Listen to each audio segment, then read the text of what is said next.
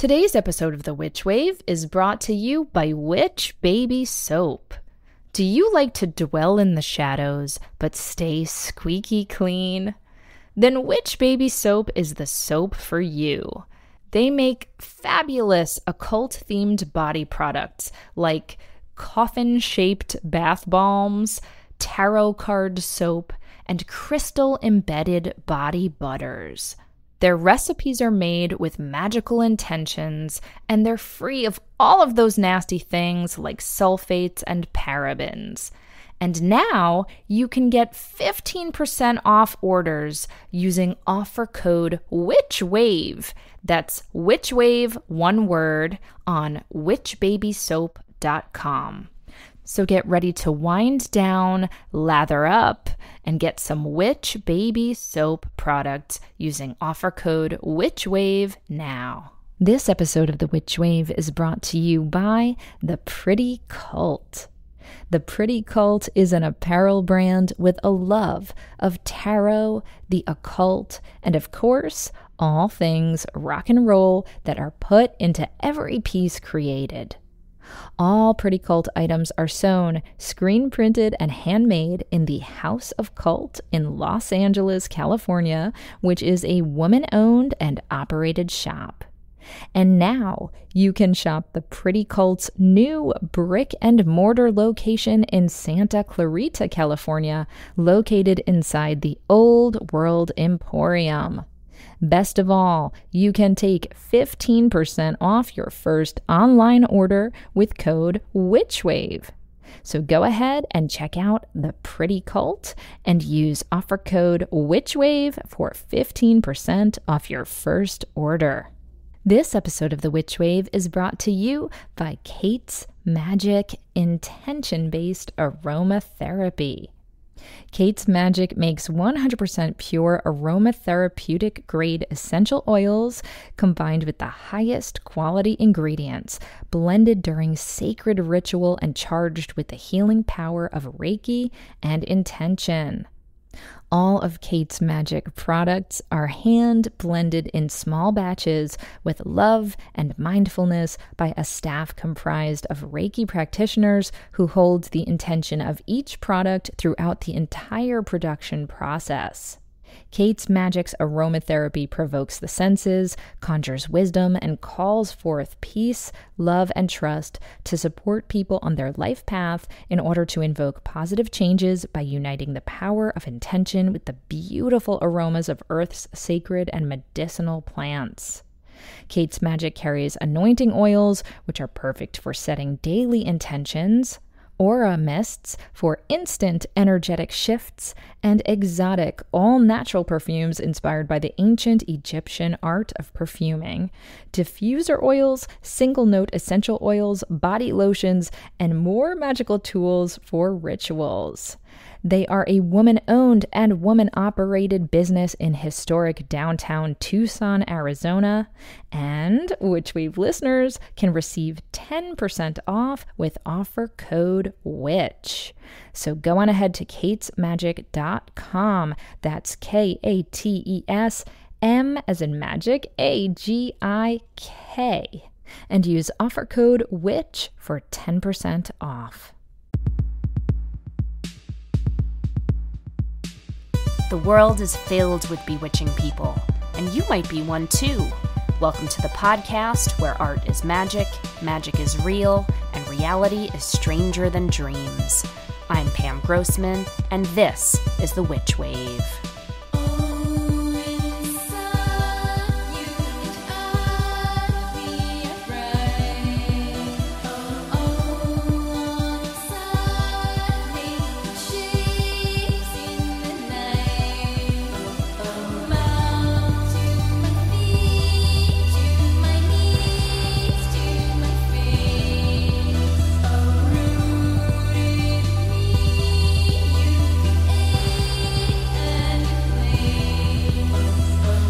Hello, and welcome to the Witch Wave.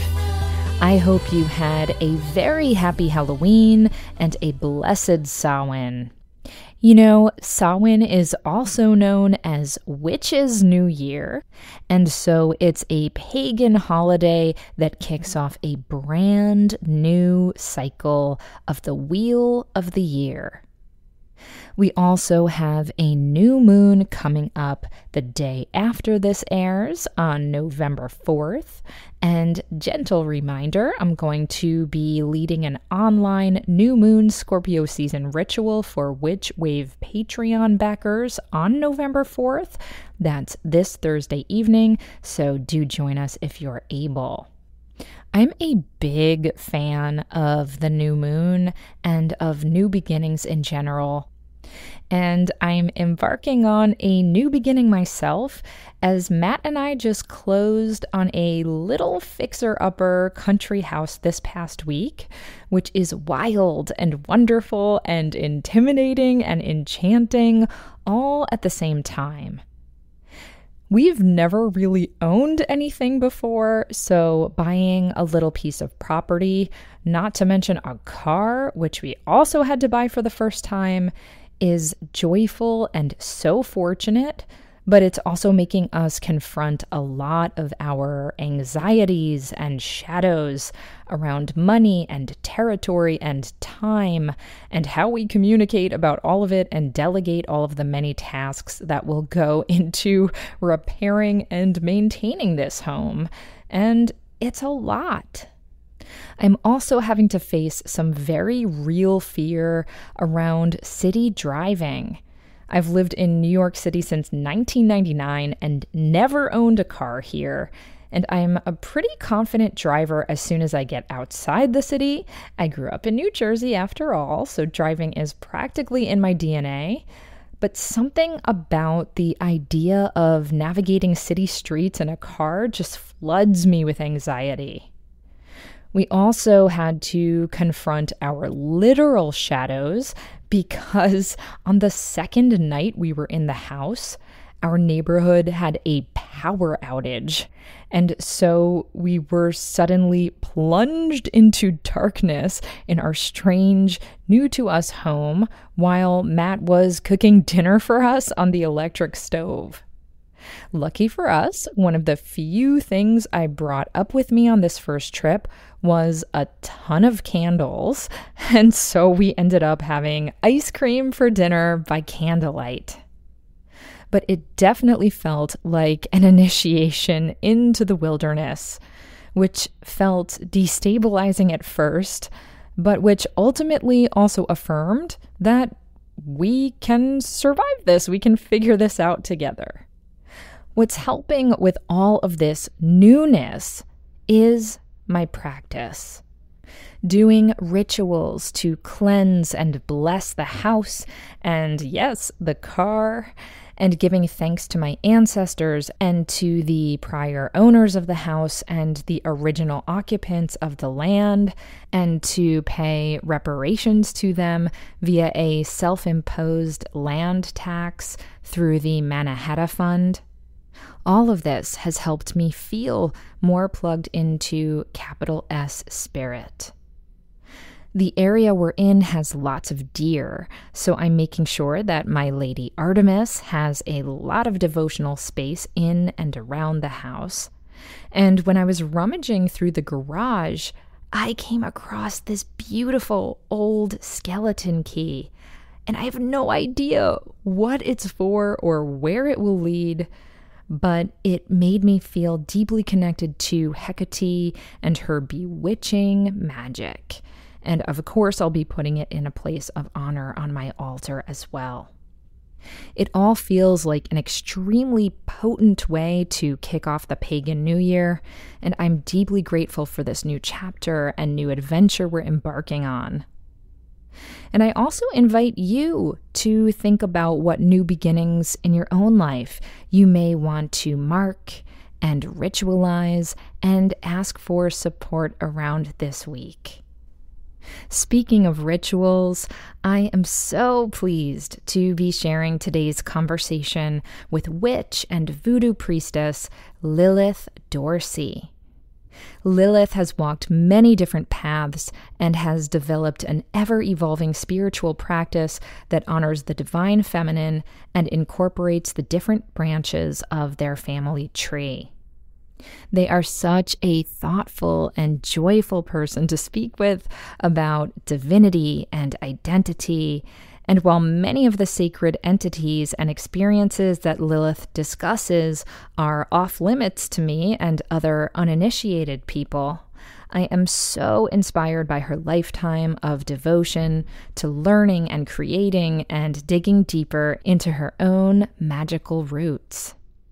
But before we get to that, first let's check and see what's come through on the Witch Wire.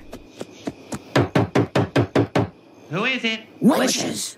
A writes For the most part, I like working with elements and energy.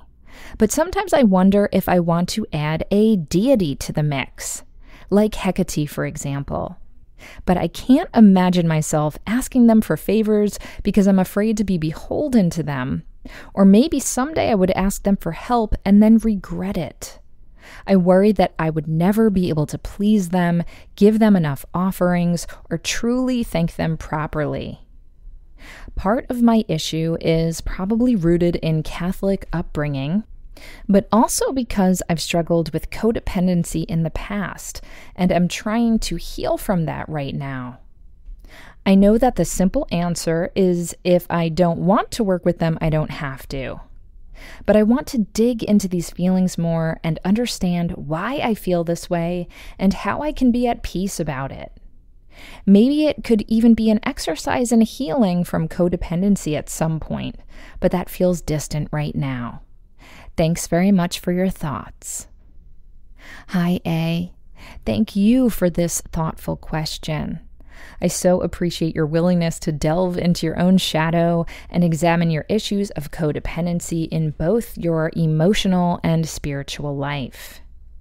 And while I'm not equipped to address the specifics of your issues, since I'm not a therapist and I also don't know the details of the situations to which you're referring, what I can say is this. My relationship to the deities that I'm connected to is one of deep love and respect and joy. It is not a contentious relationship. It's not one based on punishment or retribution or even scorekeeping. I treat my deities like I do my most beloved friends. And what that means is I make sure that I put in time and effort and attention to those relationships with the mutual understanding that life happens. I express gratitude and love to my dear friends as often as I can. But yeah, there might be periods of time when one of us or both of us is busy or needs to take a pause from communication for a bit or what have you. But I trust that I have shown them enough love and vice versa that they will not abandon me or punish me if I'm going through one of those periods of time when I need to be less communicative. And I am also committed to showing up and expressing my love and support whenever I can. And to, yeah, sometimes dig deep when I'm able to on those occasions when maybe I just don't really feel like it, but I know it's the right thing to do. So it's a balance, in other words. And I also know that there are times in my dear friendships when I can have long talks on the phone or dinners or visits with those I adore. But during the times when I can't do that or we can't do that, I still will shoot them a quick text or do a little check in just to let them know that I'm thinking about them. And so it is with the deities I'm in relationship with. Many of you know that Artemis has been my matron deity since I was a teenager, and there are times when I do elaborate rituals for her or take pilgrimages to honor her. But I can't do that all the time. And I think she gets that. She knows that she's still represented on my altar and in the talismans I wear and various other ways that I express my magic and my other creative work. And so I don't feel as if she feels slighted or needs to punish me during those times when I'm only able to do those quick check ins. It would be unreasonable for a beloved friend to require constant attention, and I believe it's unreasonable for any deity to. And if there's a deity who is giving you that vibe, then I'd recommend that you move on to someone who is a better fit for your life and for whatever you are able to give to the relationship. And now, look, I know that if you are struggling with some of these dynamics in your human relationships, the words I'm saying right now might seem challenging to act upon or embody. And maybe ultimately you will decide that having a deeper relationship with a deity just isn't the right fit for you right now, and that's okay. But I think it's wonderful that you're asking these questions, and I'm truly confident that if you feel called to work with Hecate or anyone else who makes you feel at home, then you're going to figure this out and come up with a good rhythm and develop a relationship together that is loving and magical and mutually respectful of one another's capacity and abilities. I hope that helps, and I look forward to hearing how things develop for you. Now, on to my guest. Lilith Dorsey hails from many magical traditions, including Celtic, Afro Caribbean, and Native American spirituality. They are the author of many books, including Voodoo and Afro Caribbean Paganism, The African American Ritual Cookbook, Love Magic, Water Magic, and their newest book, Orishas, Goddesses, and Voodoo Queens the divine feminine in the African religious traditions.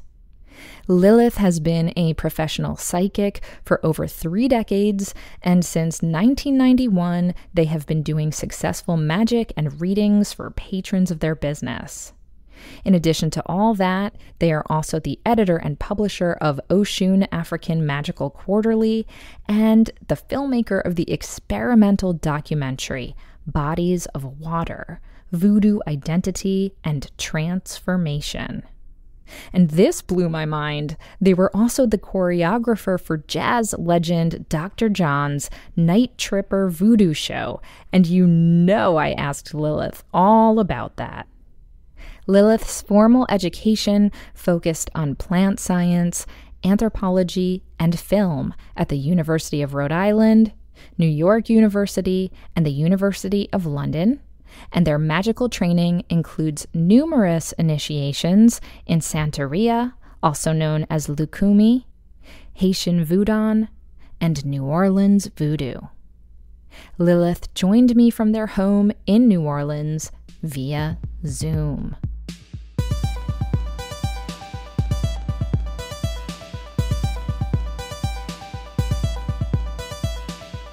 Lilith Dorsey, welcome to the Witch Wave. Thank you so much for having me on. I'm so excited. I'm so excited to have you here. I've been wanting to speak with you for such a long time. I've been a long time admirer of yours, so I am so appreciative of you for taking the time. So, first, I want to dive into your beautiful name. I assumed that Lilith was a name that you took upon for yourself. There are a lot of witches in our community who have magical names. And I was so delighted to discover that this is actually a name that was granted to you by your parents. And I'd love to hear a little bit about what that was like growing up with such a powerful name and why they chose it for you it was hard i think you know what i mean I, I meet younger millennial liliths and stuff like that and i was like oh okay you know and i'm not saying anything against them or anything like that but she had especially being my age you know i'm not going to give my age i'm not going to give my daughter's age but she's long out of college let's just put it that way mm-hmm. so I'm old enough to have had her. And basically there was a lot of negativity, a lot of stereotypes surrounding Lilith, specifically within the Jewish community. I grew up in New York City. I'm a Brooklyn girl, represent. Mm-hmm. And I think that I initially, when people recognized what it was, that was within the context. And it came with all that misogynistic, you know, demon related connotations. So that was another barrier that I never thought. But yes, my parents named me Lilith they didn't write it down in case anybody's going to try and come after me with the numerology and whatnot. They didn't write it down in the hospital. It wasn't on my birth certificate for a very long time because they couldn't decide on a middle name. So mm. they left the hmm. hospital. I was just baby girl. So I'll answer to that. yeah, yeah. Did they explain why they chose that for you, Lilith? Yeah, I wasn't actually named after the goddess. I was named after the book slash movie, probably more of the movie than the book. So that's a weird connotation. I'm a filmy person, but for those who haven't seen it, it was a Jean Seberg, Warren Beatty thing. And she was this sort of seductress that had mental issues. I mean, it's not a horror movie, it's more of a love story, actually. It does tap into that sort of primal Lilith sensuality, sexuality, and this kind of ancient, you know, goddess vibe that she has. So that's why they named me that. They knew about the goddess. They thought that was really cool too. You know, I think it was probably the only thing they ever agreed upon. But mm, mm. I mean, I can't not talk about my parents without saying they were one of the first interracial couples to be married in New York City. I realized wow. they were married, I think, three weeks after the first couple was married. So I can't even imagine what that was like for them to go down to City Hall and get all of that done. And there was a lot going on there. Wow, how fantastic. I think it's incredible that you were a child named Lilith and then you grew up to become a witch and a voodoo priestess and to write so much about goddesses and feminine magic. Let's talk a little bit about the word witch because I've tried to be more mindful about the fact that a lot of folks have used the word witch traditionally as a negative epithet to talk about things like voodoo or santeria or all these other practices. So, not all practitioners of voodoo consider themselves witches. And yet, you are happy to hold both of those identifiers as part of yourself. Is that correct? Yeah, I think that there was such a closed atmosphere. Me growing up in New York City in the 70s, and still today, I wouldn't suggest somebody just walk into a botanica or a voodoo temple and be like, I want to join, I want to learn, because they're going to look at you no matter what race you are, like you're a lunatic mm. and throw you out, because that's not really how things are done you know? It's like walking into somebody's house and saying i want to join your family. I'm not going to leave you know? People would look at you like wtf what is happening? Yeah. So it, that was very closed for me. And I think, again, a lot of people of my age grew up this way with this is what we do with the salt. This is what we do with the broom. This is what we do when we cook. This is what we do when someone's sick. And there were all these folk magic things, really standard issue witchcraft things, which I now know now that I'm an adult and, and I studied it academically. You know there was all these magical things that i was taught growing up but i didn't even really think of that as magic. I just thought of this is what you do. Mm-hmm. this is mm-hmm. the first person who steps into the house on new year's eve. This is what you eat on new year's day. This is what makes you healthy happy wealthy wise. And when I was a teenager, I kind of, you know, I think a lot of teenagers want to delve into alternative spirituality, especially if it's not what they learned or what they practiced growing up. So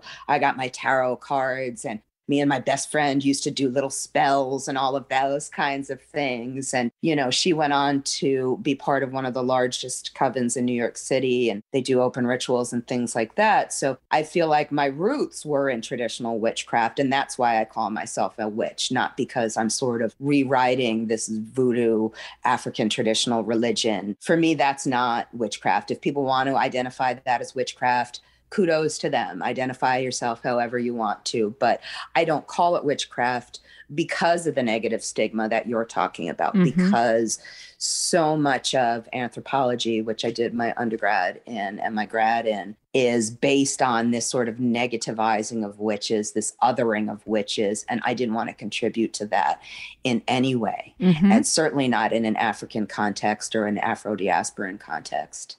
So, were you raised with any kind of African diaspora religion or spirituality? No, no, I didn't come to any of that until I was a late teenager and I joined my voodoo temple here, the Voodoo Spiritual Temple on Rampart Street, run by Priestess Miriam. In New Orleans. Yeah, New Orleans.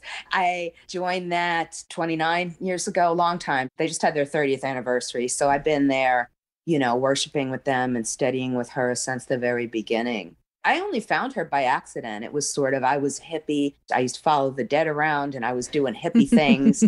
and I always wanted to learn voodoo and study voodoo and give it the proper respect that I knew it had. I didn't happen to find that until I was at an event where Priestess Miriam was also doing rituals. And I was just enamored of the entire tradition and had to become part of it in any way possible. So I find it really interesting. In your biography, you talk about having Afro Caribbean, Celtic, and Indigenous American threads of spirituality as part of your practice. The reason I'm starting up front with us clarifying this is because I do think there's this real problem in the witchcraft community of people like lumping all of these different things together, especially white people like me who, you know, just out of this hunger for connection, people then think they can just kind of like borrow or mix and match whatever they think resonates with them. And so I just want to really clarify that in your case, these are all practices that you studied for a long time.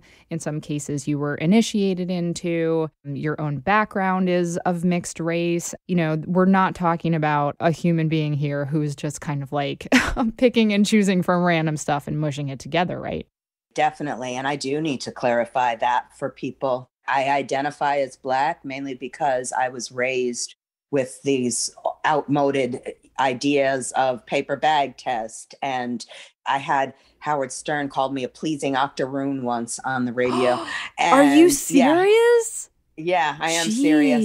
I, yikes. for me, it was about honoring the ancestors. And so much of my practice today is honoring the ancestors. So if I have ancestors from those things that for me it's not appropriation because this is part of who I am mm-hmm. you know I mean I think that's the definition of appropriation I've done a lot of workshops about appropriation funny over the years I started doing them maybe 5 years ago and, and still people want to talk about appropriation and probably the third time I did it, and I did it with my friends Roy Jones and a wonderful woman, Fat Mandy, a performer from Pittsburgh. And we stopped talking about cultural appropriation. We started talking about straight up racism yep. because mm-hmm, mm-hmm. that's what some of this drifts into. And that's what's so offensive to me when we talk about the ATRs, voodoo and Lucumi and candomblé, it's not a pick and choose the way some of the European magics are.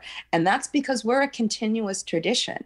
If we look at the Orisha Shango, there's written evidence that it goes back to the fourth century BCE. So we're talking about 400 years before Christ. This has been something that's in place and never fallen out of worship. People have been doing it the same way, pretty much, with slight additions over the past, you know, 2000 years. Even with the goddess Lilith, that's not something that was a continuous tradition. Mm-hmm. You know, when I was growing up, people didn't know who she was. And now there's been all this reclaiming, yep. both from the Jewish community and the witchcraft community. Yep. And that makes me really happy. But I do caution people about doing things the right way, the respectful way. I spent a lot of time around little kids and you know they'll go out in the yard and they'll dig up some mud and they'll put some shells or some stones in it and they'll be like this is a cake and it's like sweetheart yum that's delicious but you know that's not a cake we can't really eat that and that's what I feel like they've come and made something up of their own accord and it's not really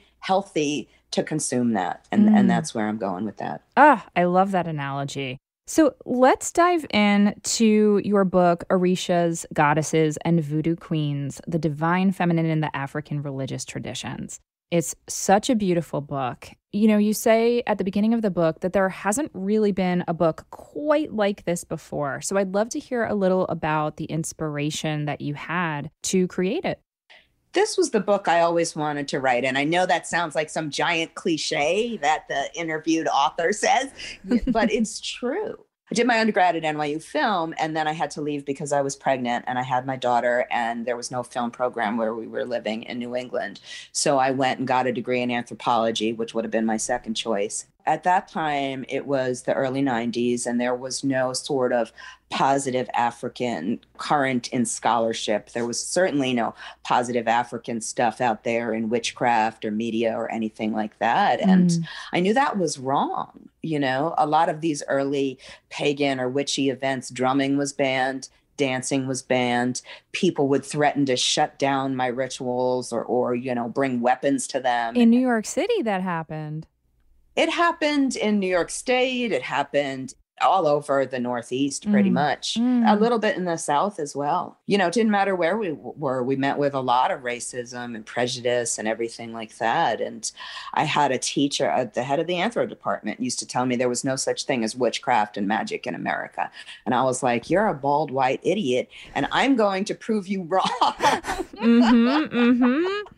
I didn't want my girls growing up like that. I didn't want them thinking that, you know, the fact that they were black was bad, the fact that they were a woman was bad, the fact that they liked to dance or sing or be creative or honor their ancestors was something that was foreign or other or backwards or anything like that. And since I didn't see what I wanted out there, I knew I had to do it myself. So that's when I started writing and, and continuing my study and making films and everything about it. It made me so happy once my daughter's anthro teacher, when she was at Cornell, came to her and showed her my book and was like, Is this your mom? And she was like, Yeah, it is.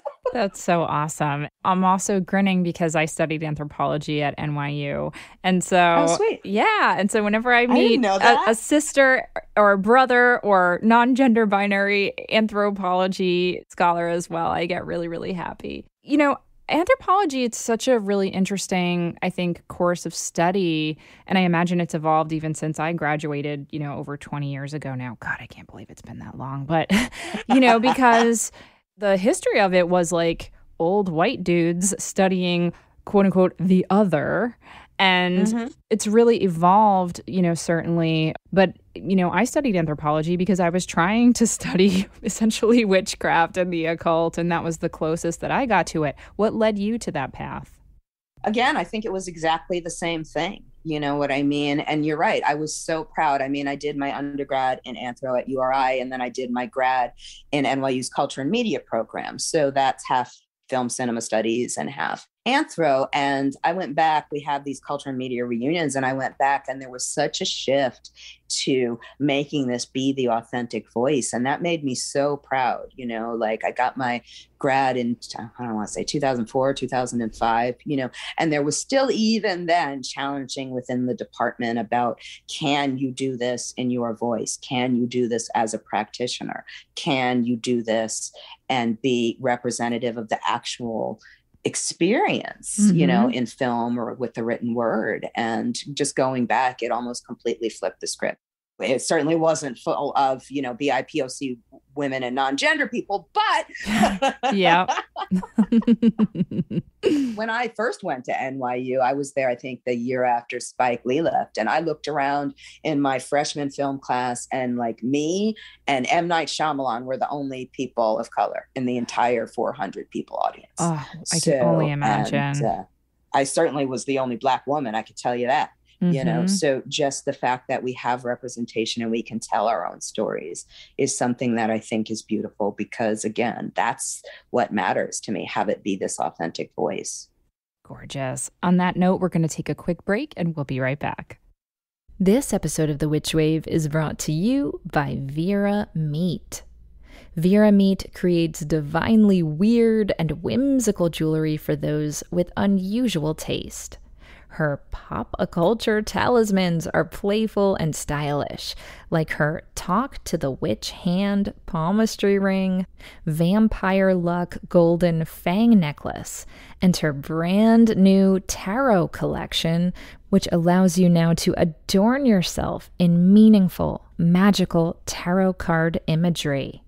Vera Meat also uses healing, supportive stones in her pieces, like garnet and black sapphire. She's also got apparel and accessories covered in moons, runes, and witchy babes. And Witchwave listeners can use code WITCHWAVE for 60% off orders on verameat.com through January 2022. You heard that right. You get 60. That's 60% off using offer code WITCHWAVE, all one word, at verameat.com. That's V E R A M as in magic, E A T.com.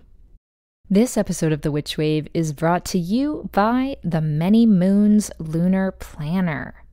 The always highly anticipated cult classic spiritual field guide to 2022 is back.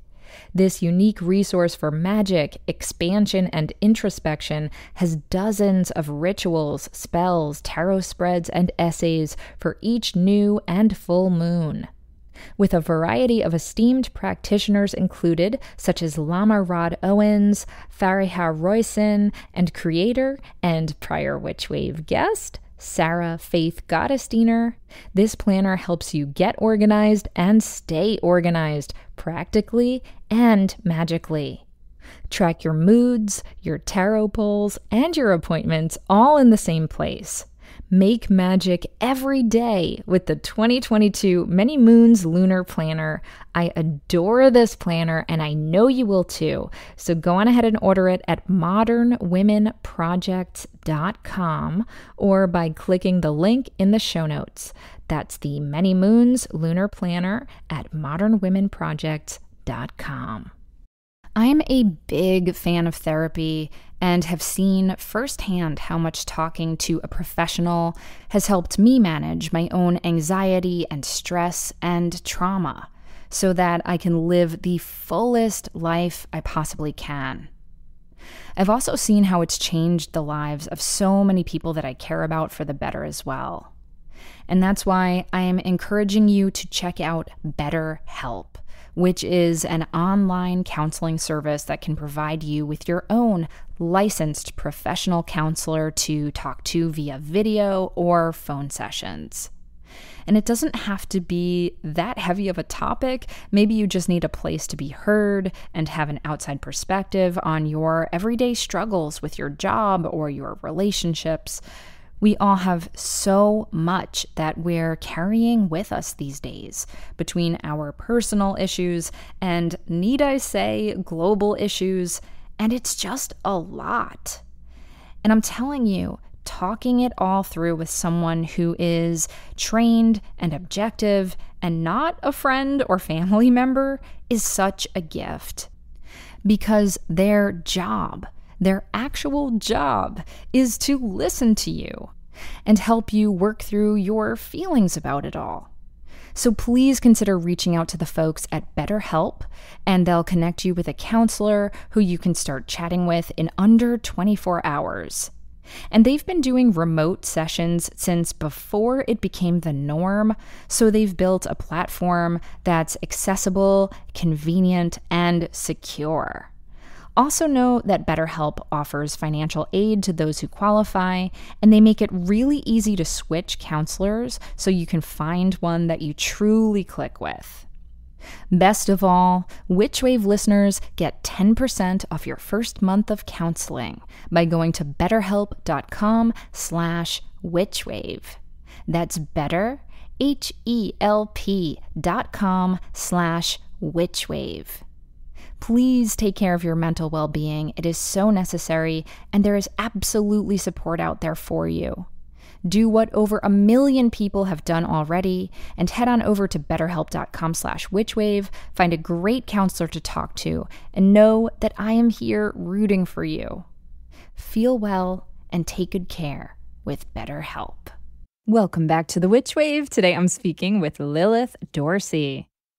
So, Lilith, we're talking about your beautiful book, Orishas, Goddesses, and Voodoo Queens.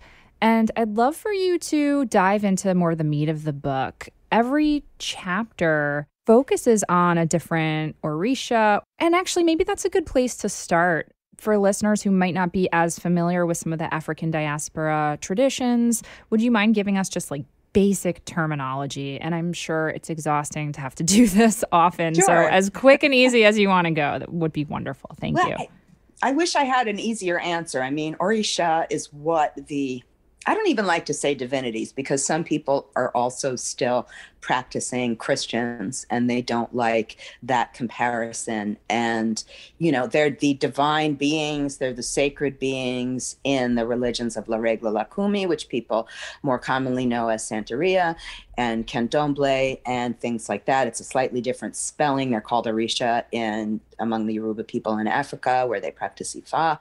The energies are similar, but also very different from the way it is practiced in Haiti in Haitian Vodou. They're called Loa. And linguistically, we're not really sure what Loa means. It, it's, again, Haitian Creole is very, you know, suppressed for so long, and now it's hard to actually pack out what the truth is. But again, it means sanctified being. And Orisha comes from Ori, which is the Yoruba word for head and Shah's the root word for Ashe, which is our sacred energy. So it's like the sacred energy of your head mm. and your guiding force, your kind of guardian angel, I think some people explain it as. But again, I would also see people not wanting to explain it that way. It's, it's I don't want to be disrespectful to anybody, but I've heard it explained that way by several different people when you're writing about each of these, maybe I'll call them divine presences. Does that feel right okay. to you, or cosmic yeah, yeah, sure. forces? Yeah. I have a decent working knowledge uh, of different traditions, but it, it seems to me like you're writing about different cosmic forces from different traditions all within this same book. That's right? Yes, definitely. So, for example, like Oshun comes from a different tradition than Erzulie. Yes. Okay. I just wanted to make sure because I, I think sometimes people think that they hear some of the more popular names and they think that's all from one kind of monolithic tradition. And that is not true. I invite you to clarify anything or any misconceptions that people might have when they're approaching this yeah. book.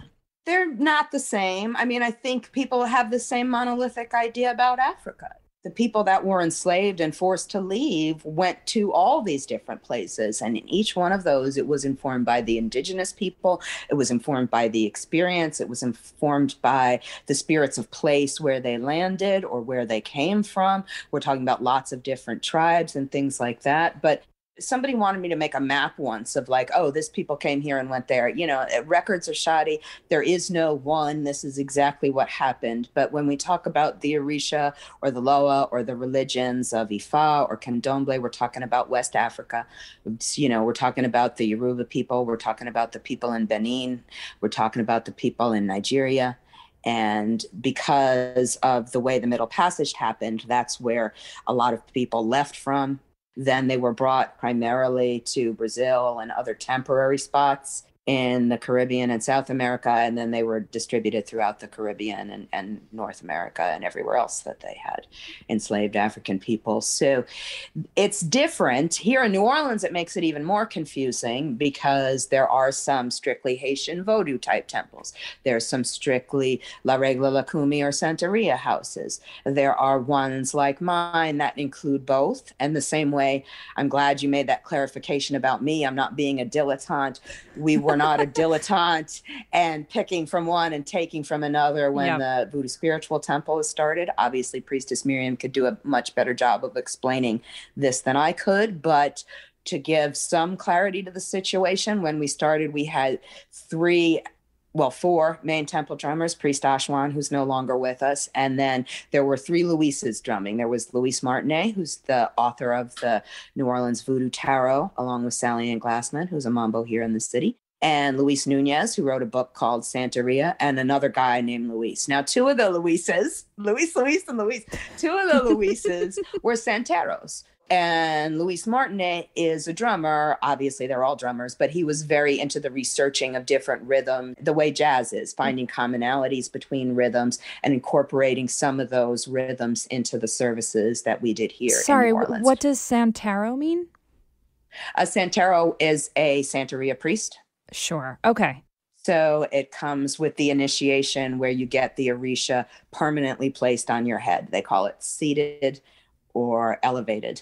Mm. I mean, that's mm. what it translates to. Mm. So it's like you are a functioning priest where you can do ceremonies yourself. There's, you know, things like that. You know, it's the first real priest priestess kind of initiation that happens Thank in that you. tradition. Thank you.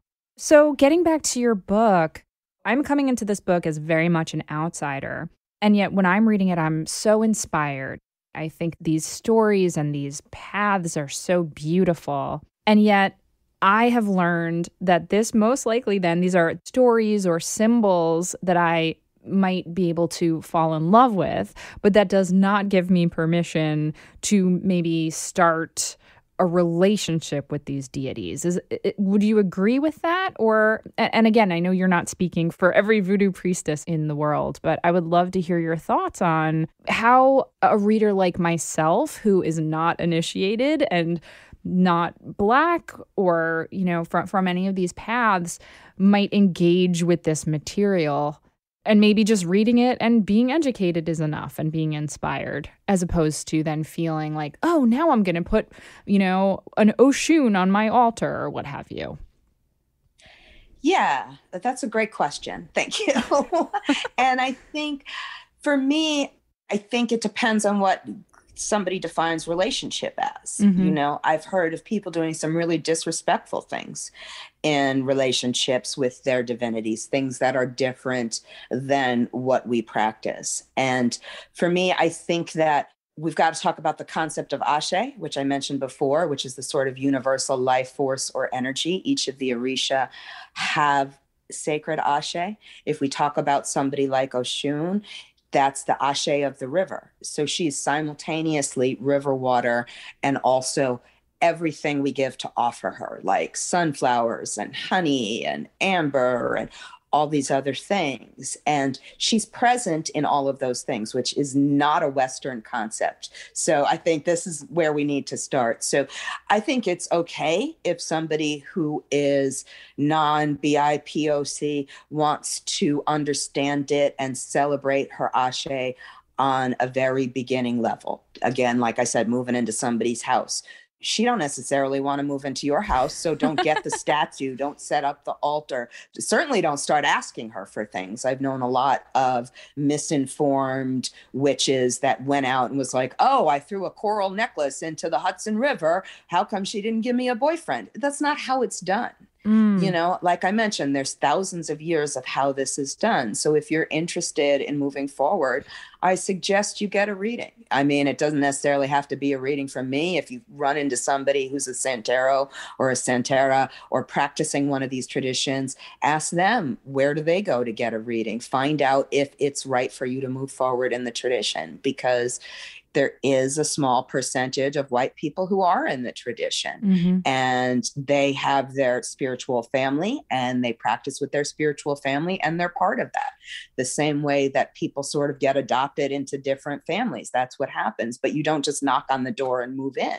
Right. So I think that we need to be respectful and and that's where I draw the line really with cultural appropriation to me. It's not oh, okay, I found out about Oshun yesterday. Now I'm teaching a workshop about Oshun today. Yeah. And I'm writing a book about Oshun and I'm pocketing all this money. And that's not how it's done.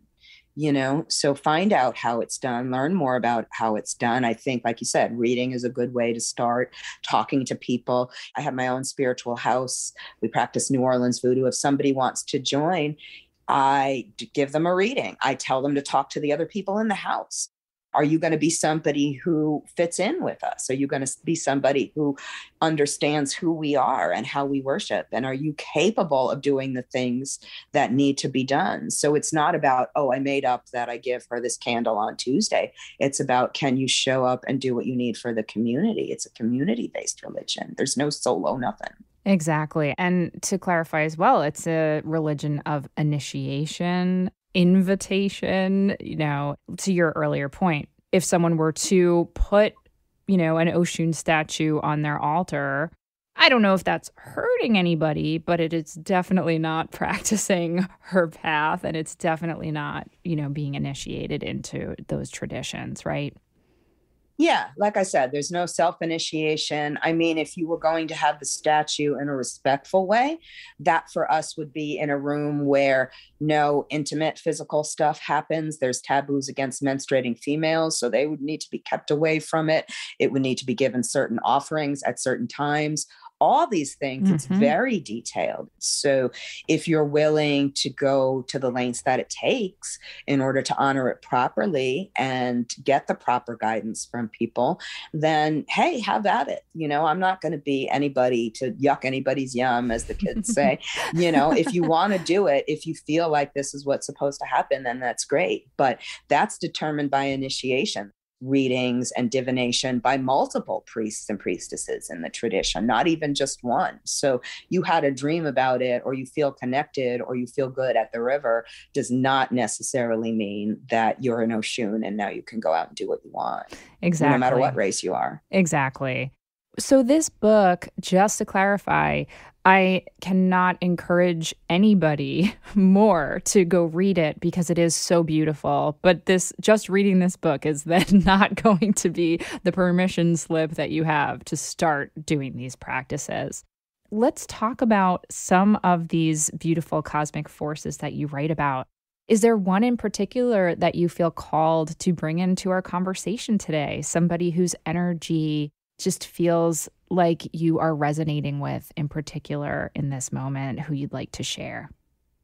Well, I'm a daughter of Oshun, which was determined by divination, but my La Regla Lukumi Santeria House is was led by an Oshun. We had a disproportionate number of Oshuns in our house. So, and Oshun gets real jealous when you don't talk about her. So let's talk about Oshun. Please, let's do it. And she already made herself known. So yeah, she's right? coming through strong. Yeah, yeah. As I mentioned, she's the Ashe of the river. She's that sacred energy. And she is also in charge of love and beauty and money and fertility. And I think a lot of people gravitate towards her because those are beautiful things and she's so beautiful and her power really for me is the essence of that divine feminine in a way that is not misogynistic. And what i mean by that is her power lies in her sensuality and her beauty and she can use that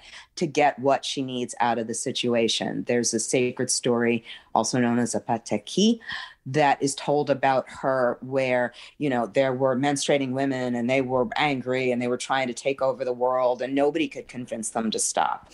They sent ogun with his machete and he tried to fight them and they were like you know later for you screw you. You know we're more powerful because that as we all know that's a very powerful time for women when they're menstruating and then you know other orisha came and tried to stop them. And then finally oshun came and she sang and she danced and she put honey on her hips. And they thought she was so beautiful that they wanted to follow her and they were called technically if you look in the literature they were called brujas or witches so these witches that were trying to take over the world negative connotation unfortunately then became the domain of oshun so that they were calmed in her beauty and in her you know sacred rhythm and her sweetness mm. and sometimes i think that is a power of divine feminine that has been suppressed for so long and taken advantage of for so long that people don't see that anymore and she sort of does her best to remind us of that in a lot of different ways. Oh, I love that. The idea of beauty as a balm.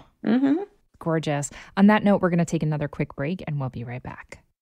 This episode of The Witch Wave is brought to you by The Path 365.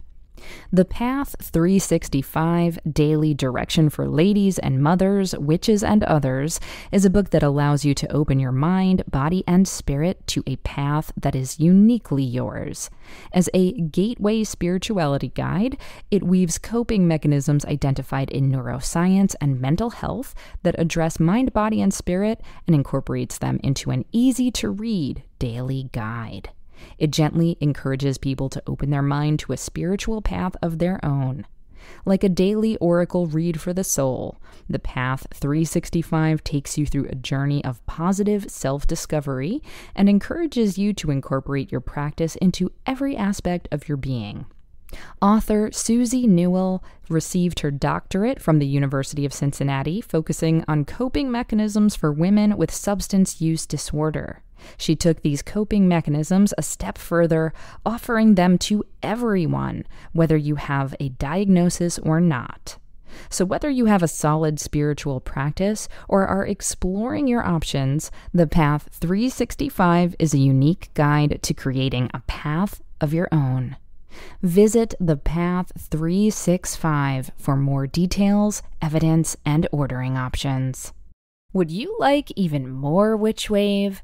Then come join us on Patreon, where you'll get bi weekly bonus Witch Wave Plus episodes, ad free Witch Wave episodes, and detailed show notes for all.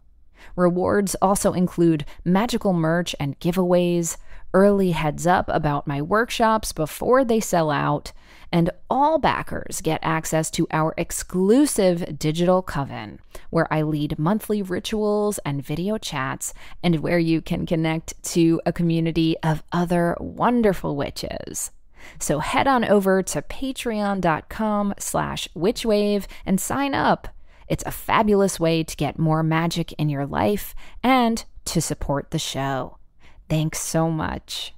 Welcome back to the Witch Wave. Today I'm speaking with Lilith Dorsey.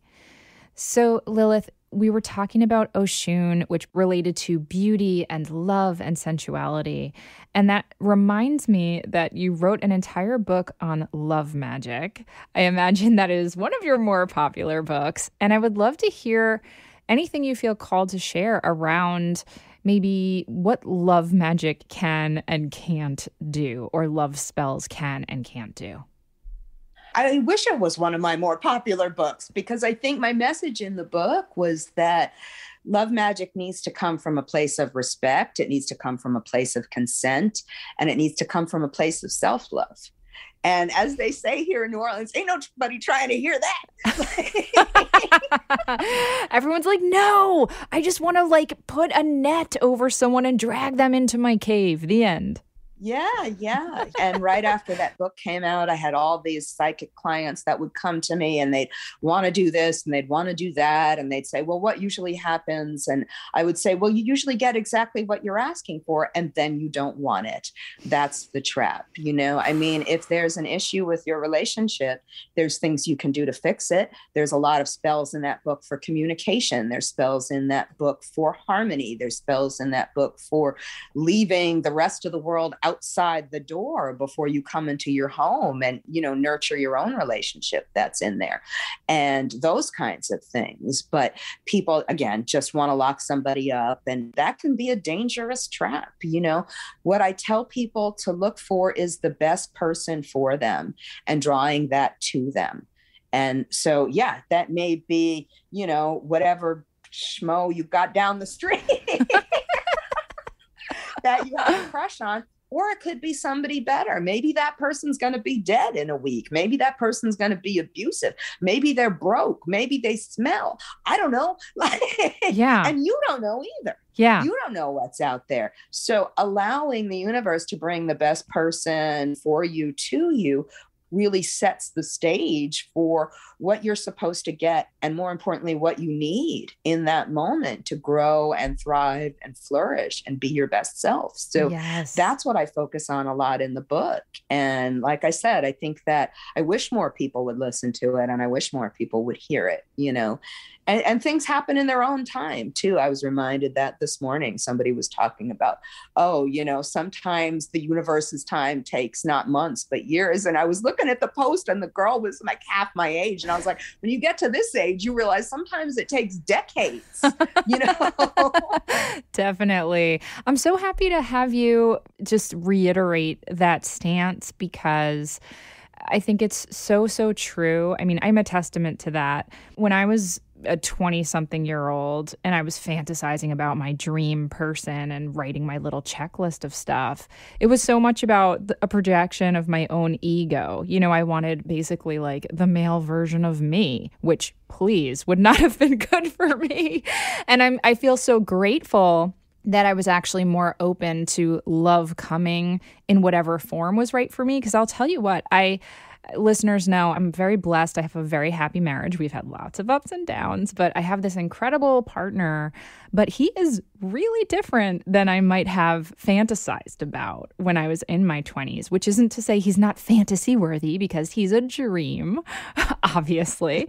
He is a playwright, which is wonderful. He's creative, but he's also like obsessed with professional wrestling and, you know, has all kinds of weird quirks and things that I would never have thought would be part of my life. And now I'm like, I sometimes watch wrestling too now. I mean, I'm being very, you know, glib, but we don't always know what is best for us. And being open to whatever form love takes, I think, is absolutely right on. So thank you for that message.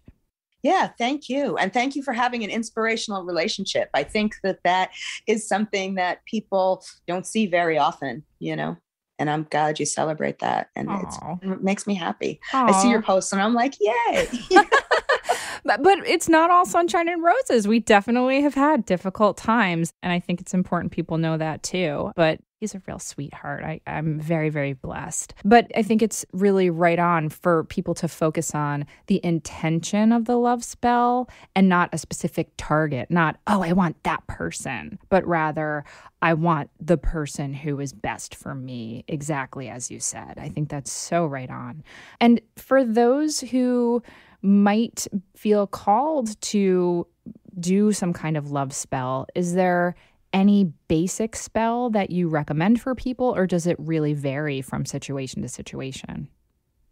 It does vary, but I do usually recommend that people do spells on their bed. People do spells on their home. And what do I mean by that? Make yourself like a love spray put that in your bed you know what i mean? Mm-hmm. like make yourself a love bath take a bath in it make some sort of love attraction thing for your home. Again not putting it on something specific but that you're trying to attract that best person to you. Obviously you want them in your well not obviously you want if you want them in your bed do the attraction for your bed. You don't want them in your bed just do the attraction for the home but I will give one caveat. I had a, a, former best friend who used to put on love stuff and then she'd go visit her partner and she'd have to go through Penn Station, which us New Yorkers know is where all the trains leave to go like local. So all these like homeless people would be rubbing up on her because she was covered in attraction oil. So she realized, wait a minute, I shouldn't go in this really busy place if I'm going to be covered in attraction oil and have stuff in her pocket and her underwear and her bra and all of this,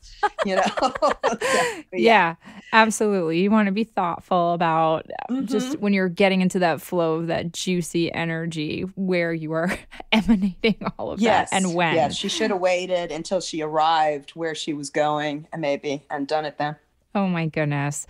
And so, speaking of juicy energy and flowing energy, and I suppose this loops us back to Oshun as well, you wrote and edited another book called Water Magic. And it's interesting because I caught, I believe it was in your Orisha's book, you saying something to the effect of how much you love fire magic. And yet it seems like something keeps calling you back to water. So, how did the water magic book come to be?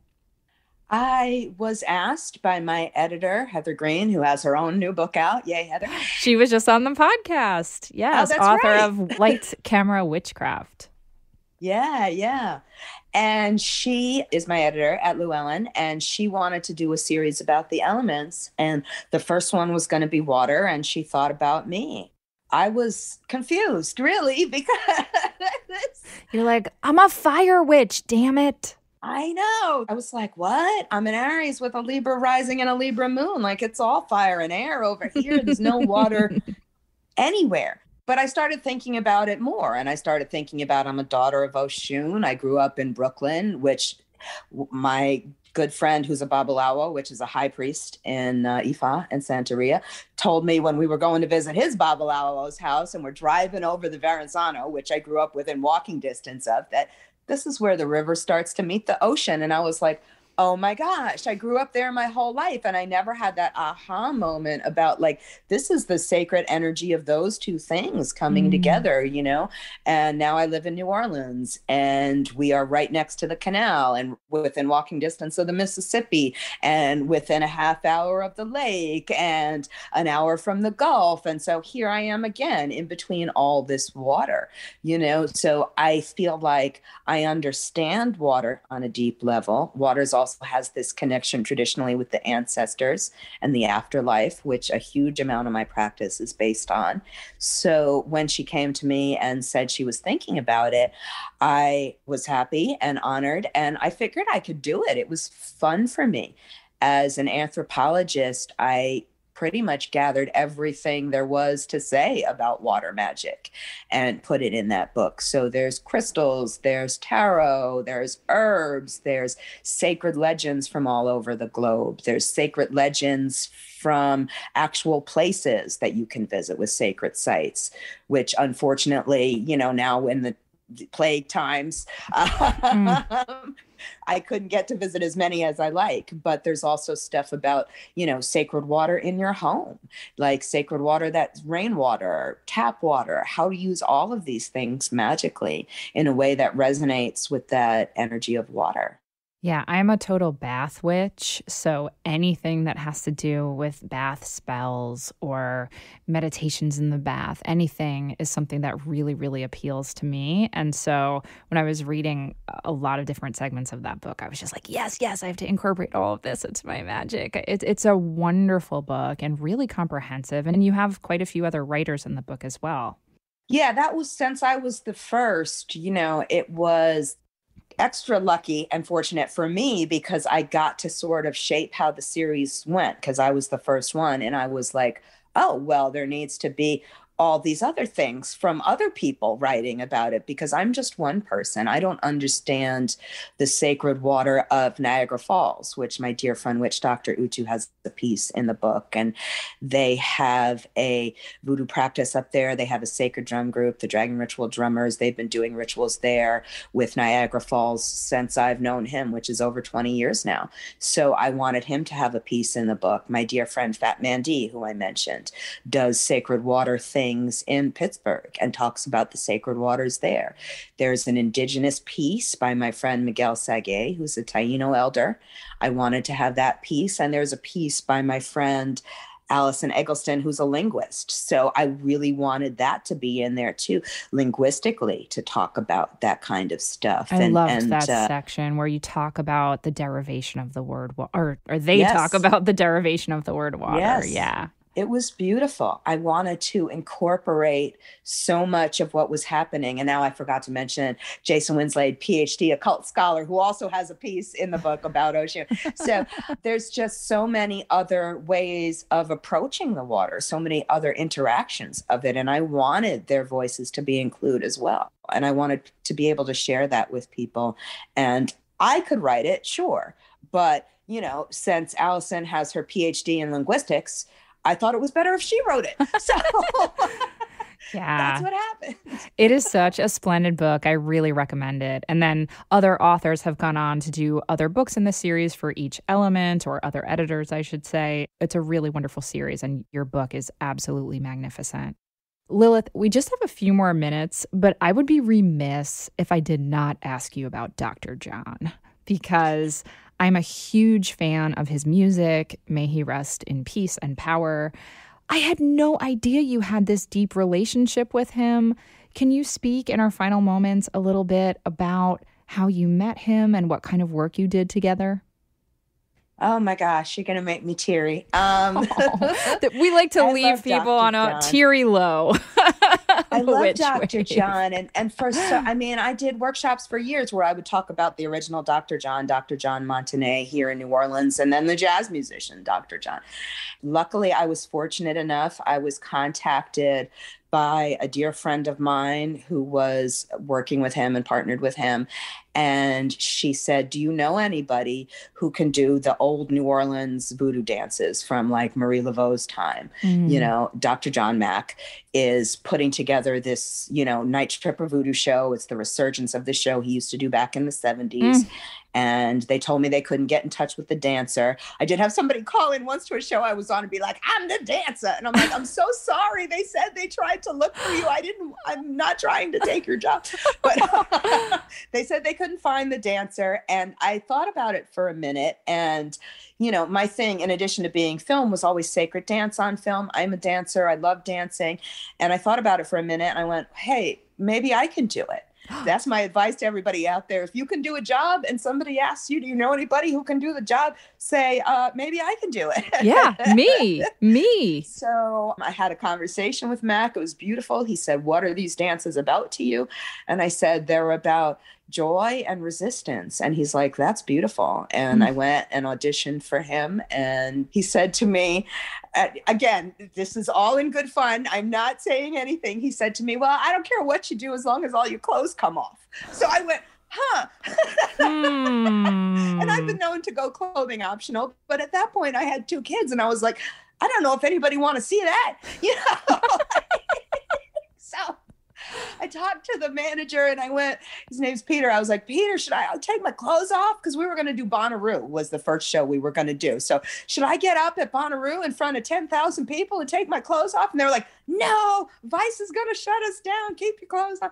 It sounds like you were a fan of his. Was any part of you like, oh, that's a little unsavory, oh, no, Dr. John? It didn't feel like no, that to you? Okay. Not at all. I wasn't grossed out or creeped out or I didn't feel offended or anything. I've been around a lot of old jazz men and it's all very raunchy and salacious and I'm fine with that. I, mm-hmm. I grew up in Brooklyn. I curse like a sailor. I've done a lot of clothing optional events. I don't have any problem.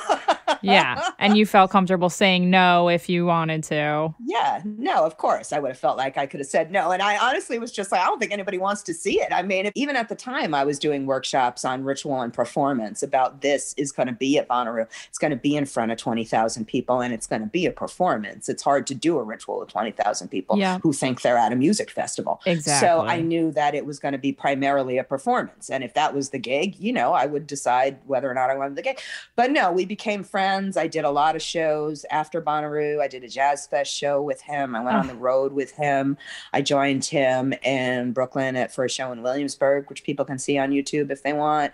I joined him for all the shows at the Brooklyn Academy of Music, which was great. Mm. Three generations of my family been on that stage, the Brooklyn Academy of Music, which was so blessed to me oh, to that's know incredible. that. You know, I love yeah, that. Yeah, yeah, yeah.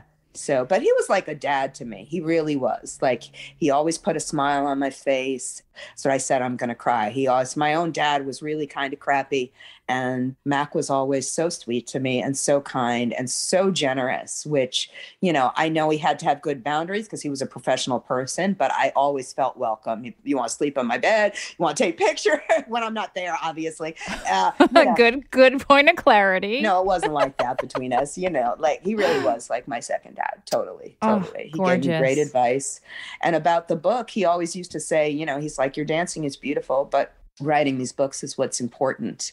And that's why i dedicated the orishas book to him because he's like this is going to live on.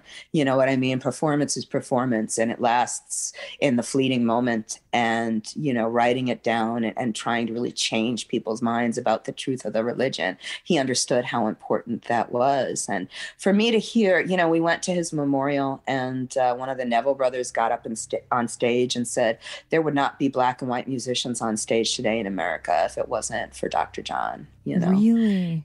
And yeah, definitely. He fought for having his black musicians on stage. And them I remember they used to tell me stories about having to go through the back door and Mac fighting for their rights, you know, and, and making sure that they were included. And it was so beautiful to me that this is who he was. And he did such amazing things for people and, and for voodoo as well. I mean, I think back in the 70s when he started, we didn't really have this public voodoo persona that was positive. We just had things that were, you know, racist yeah. and extreme. All those stereotypes of like the witch doctors and voodoo priests who were yes. supposed to be demonic and evil. We still have those tropes on TV today. Of course, you know, so, but I think a lot of what he was doing was about reclaiming some of that, or reclaiming what he was taught, you know. I mean, he used to share with me a lot of the magic that he used to practice, and I used to he used to you know consult with me about things that he was doing and stuff like that and and it was always entertaining that's what i have to say i mean there's stories about my friend coming back to where we were staying and he's got frogs legs on the ceiling from making gumbo and and you know oh he would call goodness. me up and he'd be like i stole this woman's underwear and i'd be like what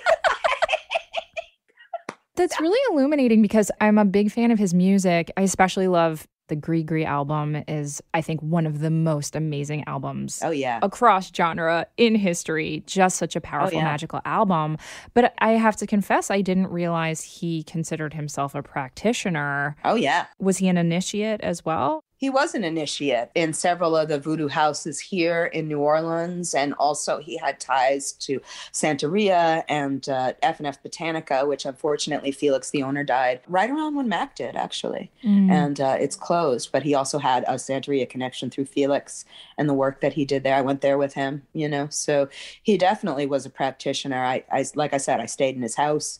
He had altars. He had lots of sacred things going on, you know. Mm. I was fortunate enough to be able to say goodbye and be able to attend his memorial, and that was beautiful as well. Mm. Well, what a blessing that your paths crossed. And I feel so grateful that our paths have finally crossed, Lilith. Yes. So, last question. If people want to get in touch with you, whether to have a reading by you or to access more of your work, what is the best place for them to find you?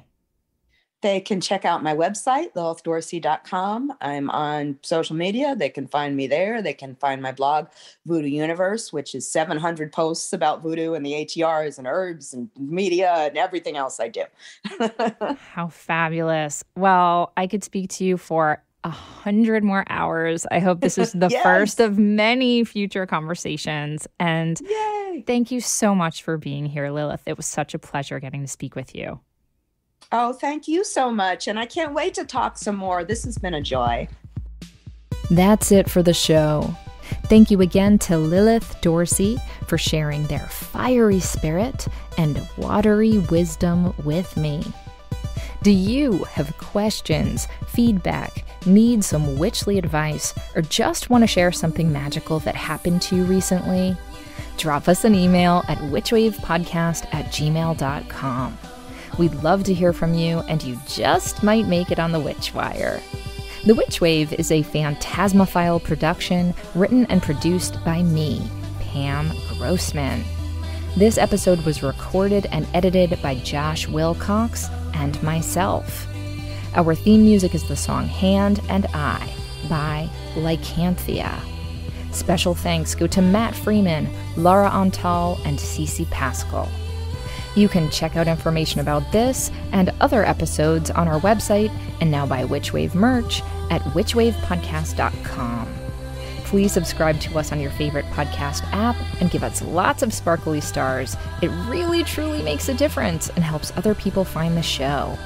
You can follow us on Twitter, Instagram, and Facebook at WitchWavePod and you can check out my witch emoji for iPhone by going to witchemoji.com or downloading it in the App Store.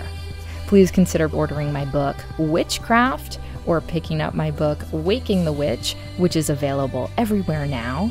And if you want more Witch Wave or you would just like to support the show, please join us over on Patreon. That's patreon.com slash witchwave. Thank you so much for listening. Witches are the future. I'll catch you next time on The Witch Wave.